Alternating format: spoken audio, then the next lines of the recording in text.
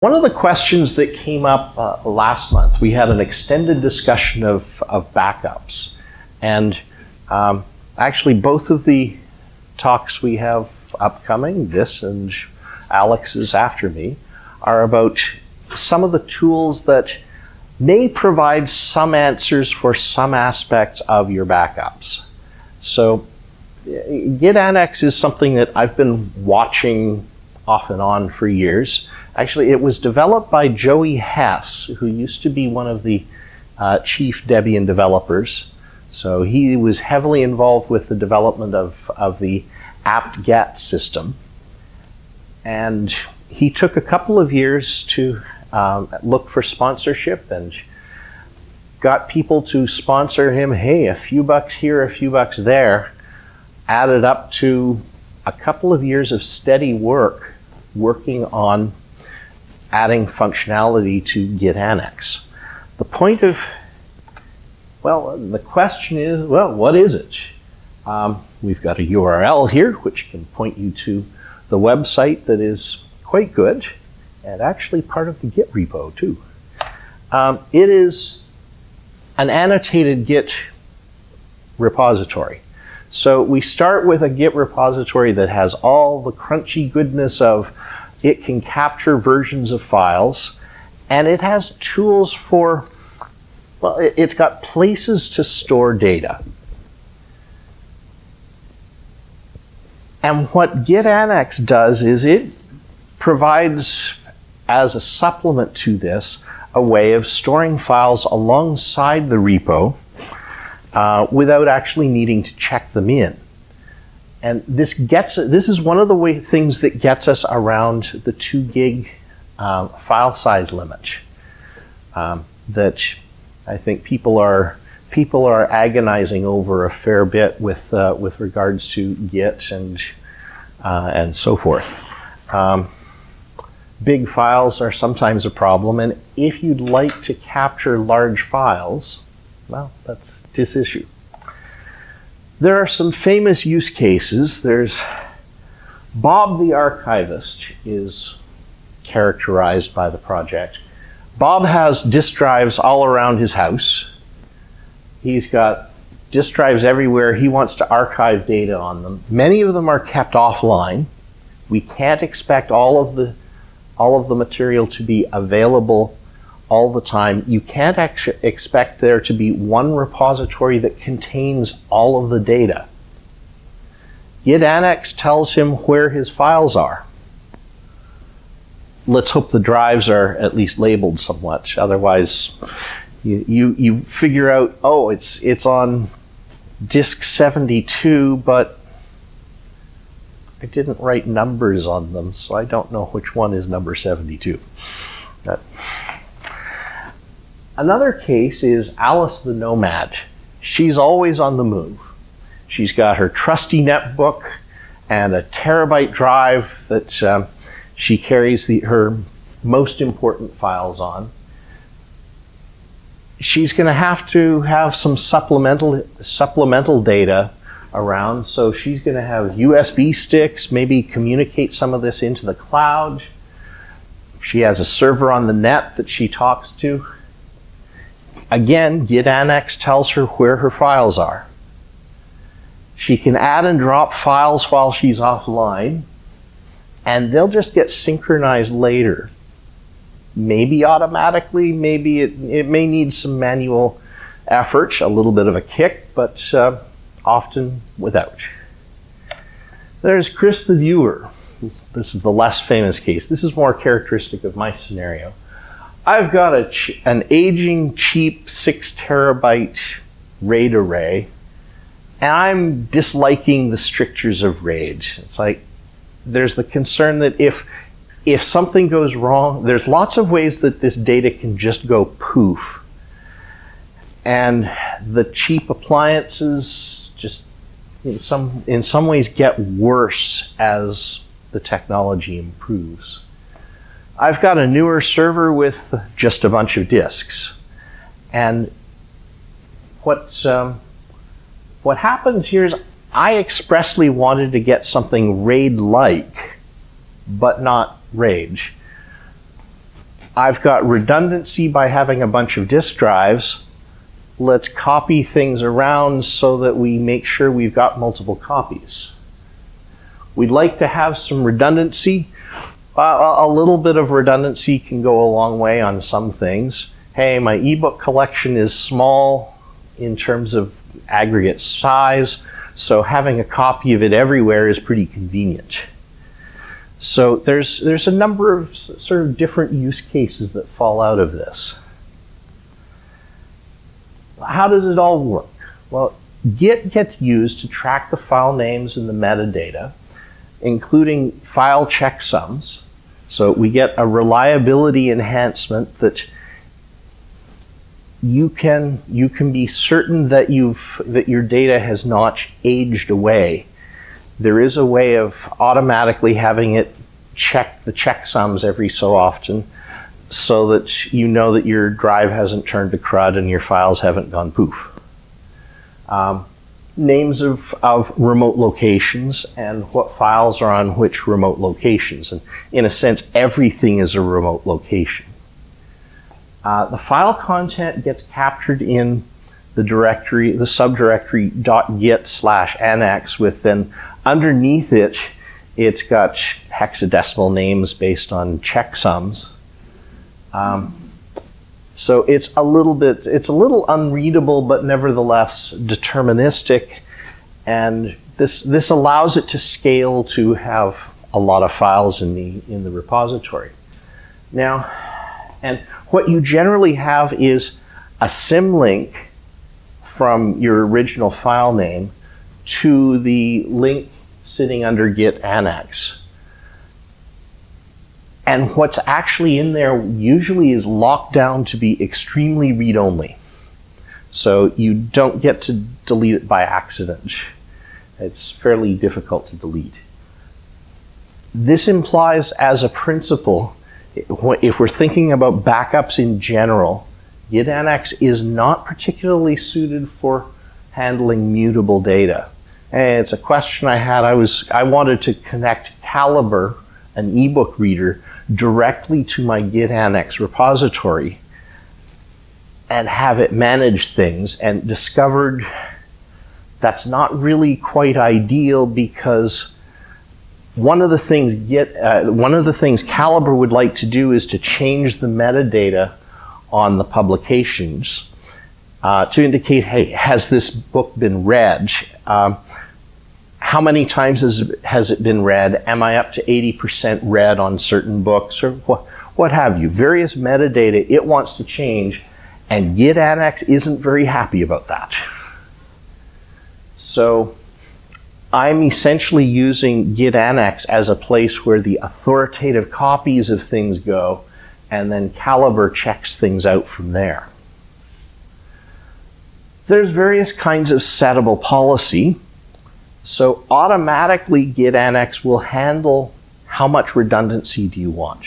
The notable thing that you'd, you'd want to have is, well, policies around how many copies you want to have of something. Now, if you only have one, uh, one repository instance, you have no choice. There's no more than one copy of anything. But supposing you've got five servers kicking around, you might want to make sure that you have at least two copies across the five servers, and that way they, none of them are holding on to all of the eggs. Nothing, things are not in just one basket, but well, maybe you want a more, maybe you want more than two copies for your crucial, for your photograph collection. If somebody's a professional photographer, they may want the, the many copies of their photographs, or for the for the professional materials, they want high redundancy. But then there's the stuff that they're just scrubbing through, and it's hey, some some stuff can have well, you can have varying policies. Um, Git Annex FSCK will run checks against the checksums automatically or by command. And over time, well, okay, well, GitAnnex supports a large number of different kinds of remotes. A remote is a node where data is stored. Now, the, the nominal case is that of a Git repository. And you need at least one Git repository, and you probably want Git repositories whenever possible. But there's a whole bunch of things that got built as add-ons over the course of time. Hey, Joey got two years worth of sponsorship and people kept asking for let's have some more things. Let's store things in Amazon S3. Encrypted, you'd like you'd like stuff going out into the cloud to be encrypted. Um, Amazon Glacier, and that one's really weird. There's the, the rules for that are it's good for capturing archival data. You can't quickly get copies out of it. So it might take hours for you to pull data out. It's very, very strange. BUP is a system for doing backup via Git pack files. By the way, if, if people are thinking about broader questions of backups, these are all these are all things you should probably also look at. They're pretty good ideas too. There, DDAR is a deduplicating archiver. gcrypt is a Git repo where everything is encrypted in the repo. So you run this on a hosting service that you don't trust that much. All right, so you've got a hosting service in the US and you don't trust tender administrations of somebody else's government. So encrypt on its, it, it's, in, it's not encrypted in Canada, but it's encrypted somewhere else. Uh, directory, perhaps on a removable drive.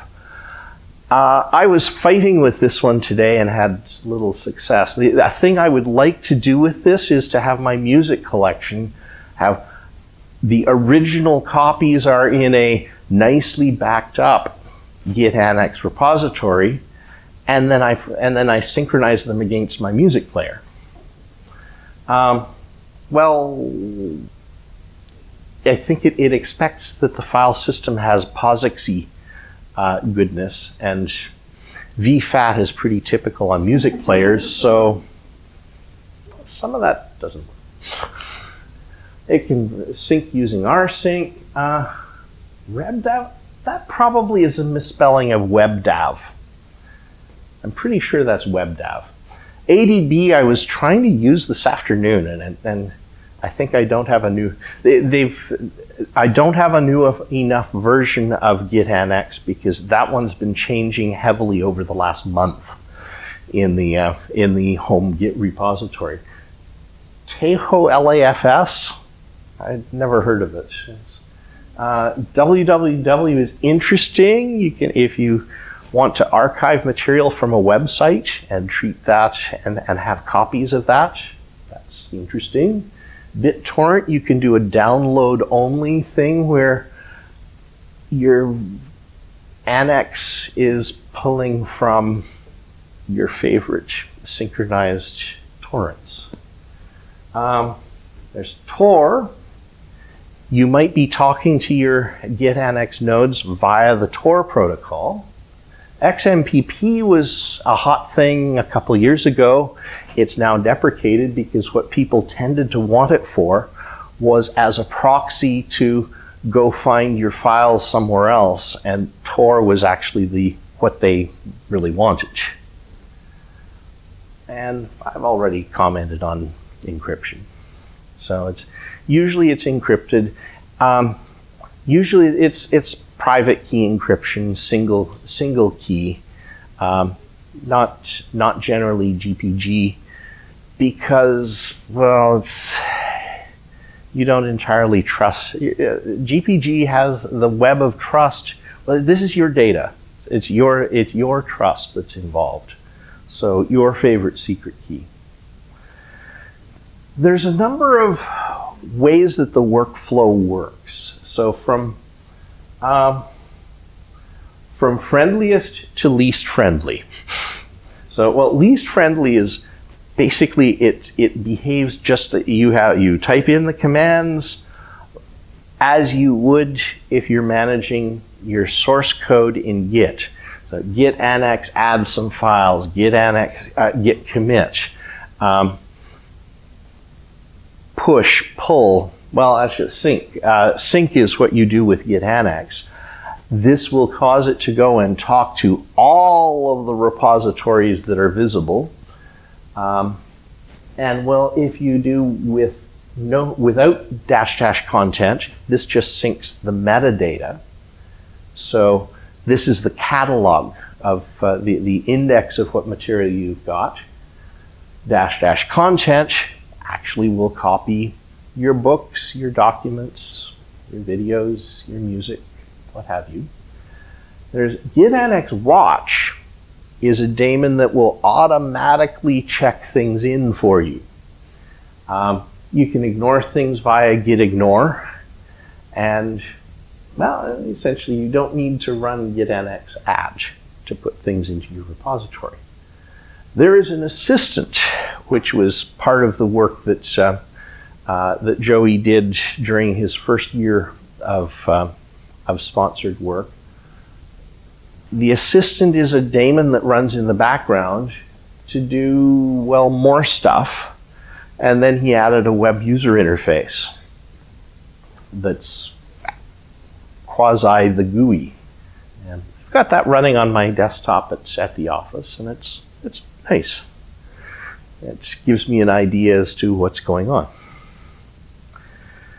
Um, what it isn't, Git is not a backup system, but in that it makes copies of things in a well-arranged way. If the policies that you have are useful for the backup of the kinds of files that are congruent, then this is a piece of a backup system.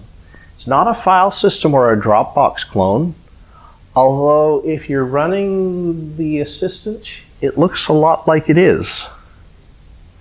It, it does behave a fair bit like Dropbox. It's not Unison. Unison has as, as a difference that it expects all of the files to be somewhere. You might choose to omit some from one repository or another, but something's going to be authoritative.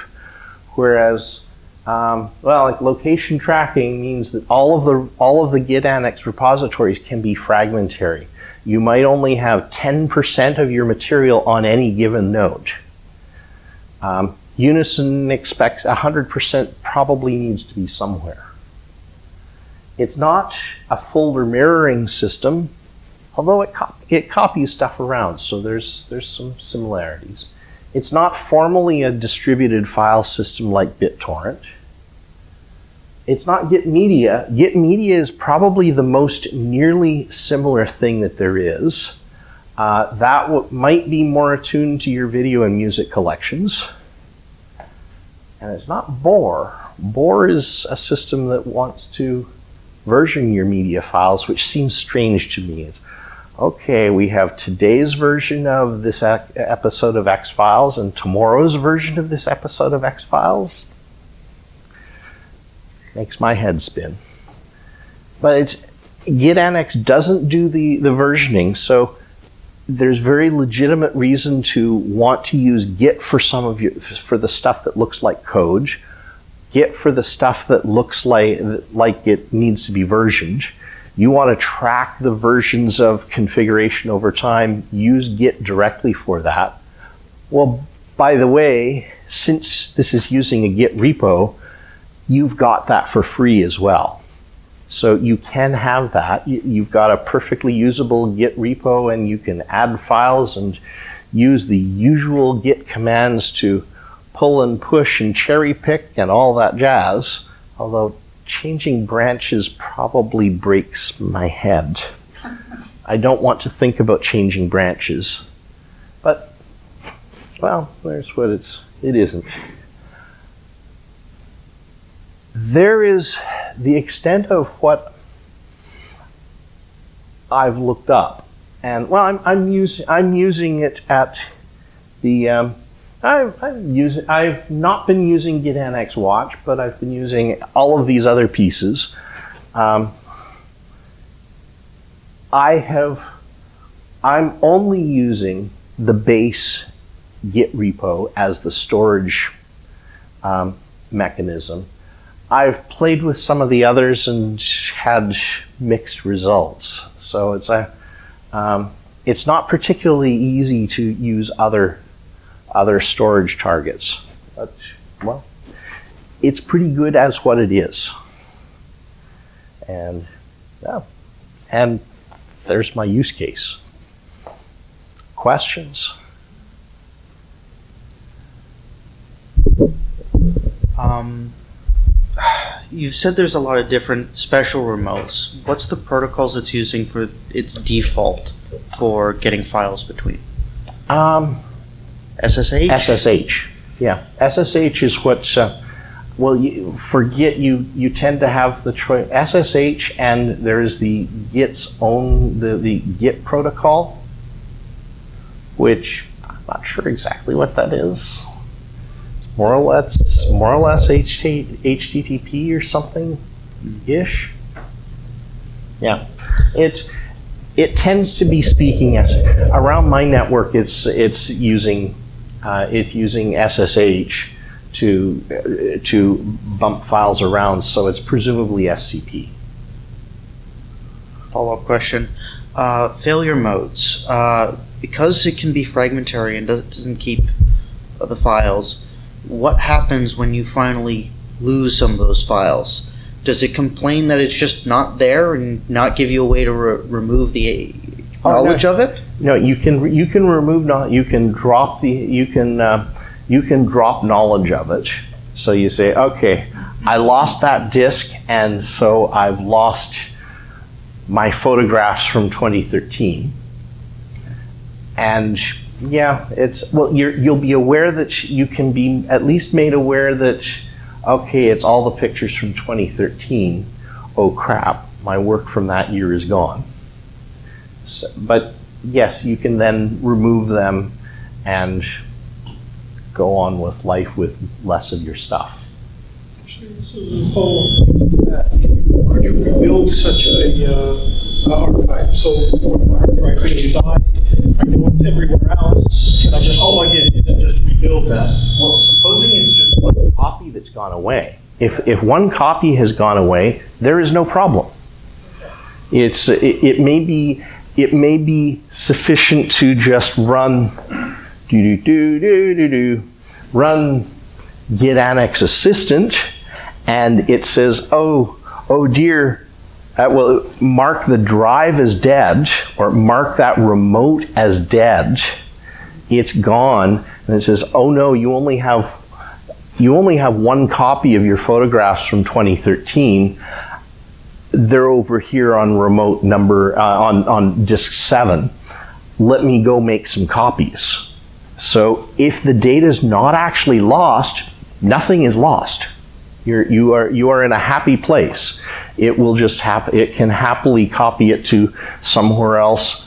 Maybe of your choosing. Maybe it's you may leave it non-deterministic as to where it makes the copies but you, you could ask it to sync to a particular place.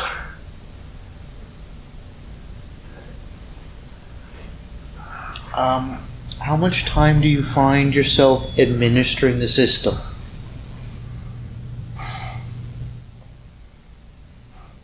When I add new books, I git uh, git annex add and commit and sync and forget.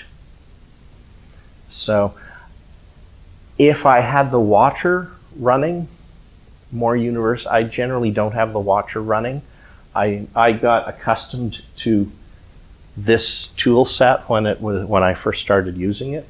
I'm I less use these. I trust them less. So it's it's a little bit of manual work. It's well, it's the bit of manual work of oh, there's new material. I need to expressly add it. Just like if you have new configuration, if you've got new dot files in your home directory and you want to add them to your favorite Git repository, you've got to do a bit of manual work to put them someplace where, uh, where your repository will be apprised of them. It's that work. That work I have, it's pretty nominal. I have a similar problem. I have a similar problem but not identical. I have a lot of stuff in Git, and I want to keep it in synchronization between GitLab, GitHub, and my local machine. But it isn't blobs outside of Git, it's stuff that's inside Git. Is there, is there another offering out there somewhere that addresses that classic problem? I'd like to have free copies, please? I wonder, well, that sounds, actually, that sounds a lot like, I, I make, I'm making this up. This sounds like BUP, Ah, okay. backup via Git pack files.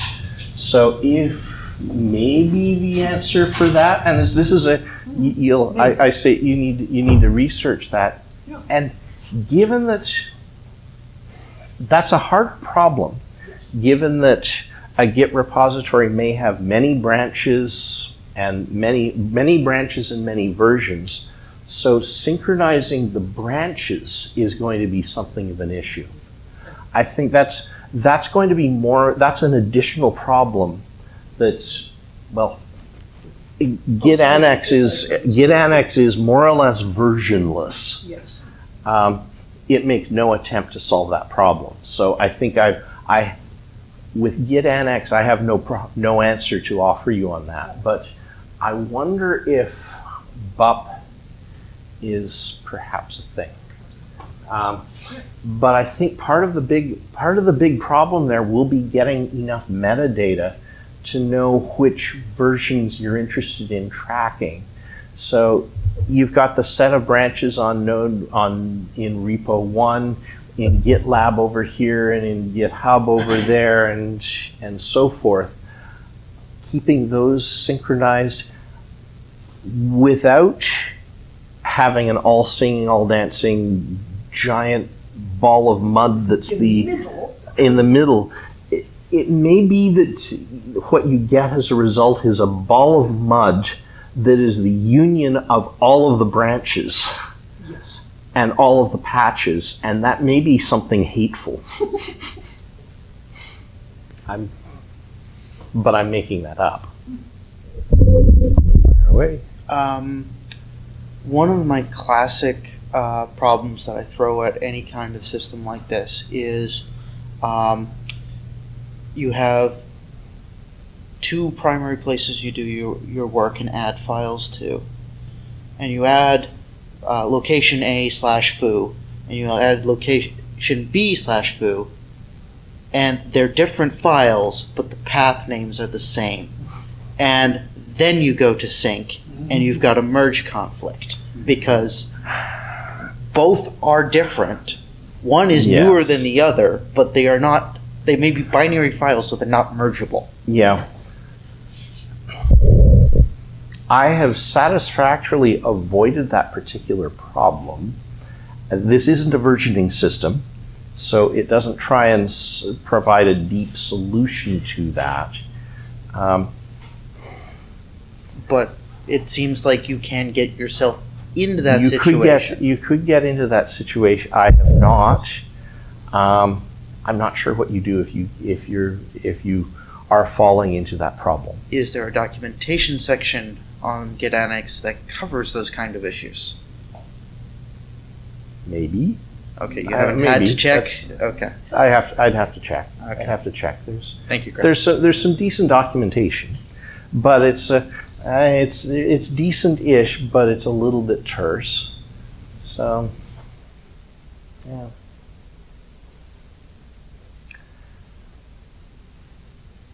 More questions? Thank you very much.